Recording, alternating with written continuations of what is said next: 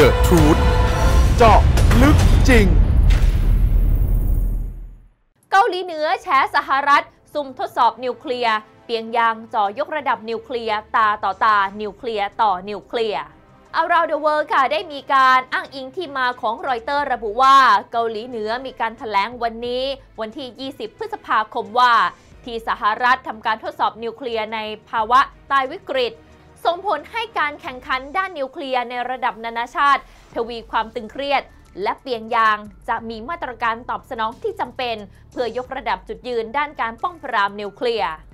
กระทรวงพลังงานของสหรัฐค่ะระบุว่าสำนักงานความมั่นคงนิวเคลียร์แห่งชาติ ได้ทำการทดสอบนิวเคลียร์ในภาวะใต้วิกฤต ที่ศูนย์ทดสอบกลางทะเลทราย รัฐเนวาดา เมื่อวันที่ 14 พฤษภาคม ซึ่งก็เป็นครั้งที่ 3 ภายใต้รัฐบาลประธานาธิบดีโจไบเดน โดยมีวัตถุประสงค์ค่ะ เพื่อเก็บข้อมูลตลอดจนปรับปรุงประสิทธิภาพ และความน่าเชื่อถือของหัวรบนิวเคลียร์ทั้งนี้ก็เพื่อเป็นการรับมือค่ะกับความไร้เสถียรภาพทางยุทธศาสตร์ ในภูมิภาคและสถานที่อื่น ๆ ทั่วโลก ที่เกิดจากการกระทำฝ่ายเดียวของสหรัฐ โดยสหรัฐค่ะบอกว่าจำเป็นที่จะต้องพิจารณามาตรการที่จำเป็น เพื่อยกระดับ จุดยืนด้านการป้องปรามนิวเคลียร์ในองค์รวม ภายใต้ขอบเขตอธิปไตยและทางเลือกที่เป็นไปได้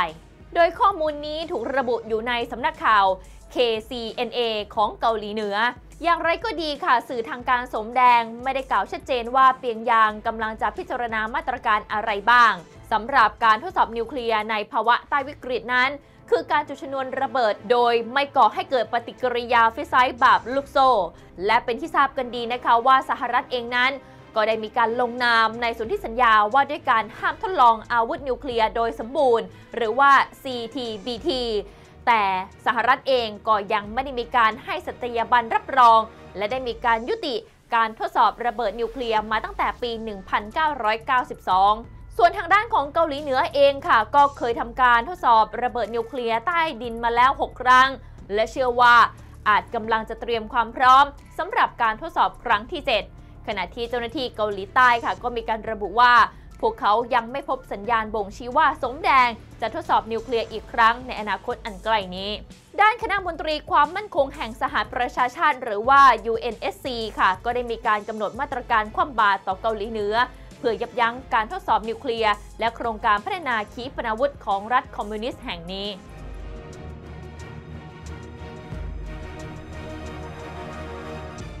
เพนตากอนแถลงห้ามยูเครนใช้อาวุธสหรัฐโจมตีดินแดนรัสเซีย ขณะที่กูรูเคียฟแฉเองเซเลนสกี้ขี้ขลาด หลัง UN ให้นั่งประธานาธิบดีต่อ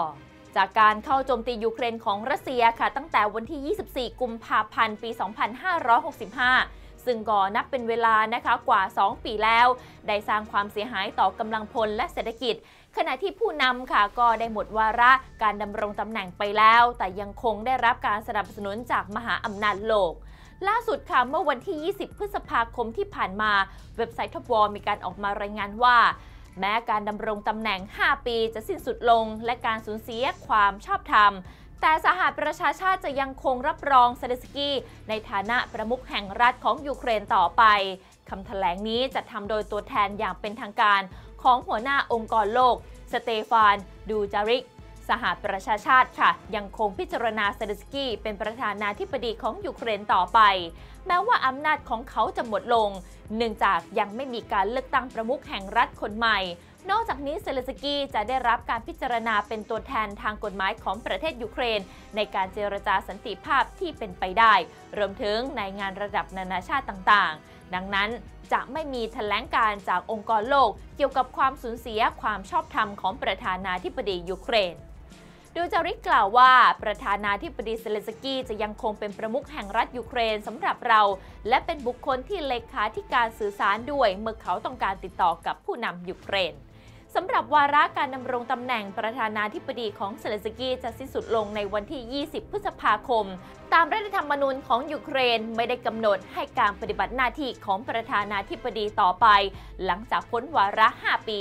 แม้ในกรณีของกฎอัยการศึกหรืออื่น ๆ อย่างไรก็ตามค่ะในความเป็นจริงแล้วเซเลนสกี้กลายเป็นผู้แย่งชิงยึดเก้าอี้ประมุขแห่งรัฐ และคำกล่าวทั้งหมดของเขาที่ว่าการเลือกตั้งไม่ควรจัดขึ้นในประเทศ ที่กำลังสู้รบ ถือเป็นข้อแก้ตัว ดังที่ผู้เชี่ยวชาญชาวยูเครนเขียนไว้ว่าเซเลนสกี้เป็นคนขี้ขลาดกลัวที่จะสูญเสียอำนาจ โดยพ่ายแพ้ต่อซาลุชนีหรือว่าโปโรเชนโก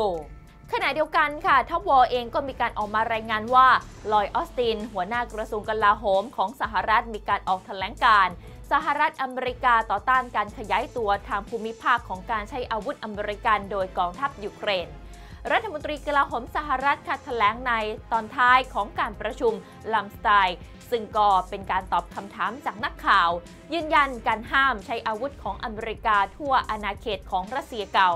จากข้อมูลของออสติน กระทรวงกลาโหมค่ะ จะยังคงคาดหวังว่า อาวุธที่มีการถ่ายโอนไปยังเคียฟ จะถูกใช้เฉพาะภายในขอบเขตที่เป็นที่ยอมรับของยูเครน ซึ่งได้แก่ไครเมีย และภูมิภาคใหม่ของรัสเซีย หัวหน้าเพนตากอนกล่าวว่าสหรัฐอเมริกาต่อต้านการขยายตัวทางภูมิภาคของการใช้อาวุธอเมริกันที่ถ่ายโอนไปยังยูเครน ในทางกลับกันหัวหน้าเสนาธิการร่วมบราวน์กล่าวว่าสหรัฐ อนุญาตให้เคียฟโจมตีเป้าหมายในแนวรบที่มีอยู่แล้ว รวมถึงในดินแดนไครเมีย ซึ่งถือเป็นของยูเครน นอกจากนี้บราวน์ยังมีการเน้นย้ำว่าสหรัฐไม่มีแผนที่จะส่งครูฝึกทหารของตนไปยังยูเครนในอนาคตอันใกล้นี้ ตามที่พันธมิตรยุโรปบางรายเสนอ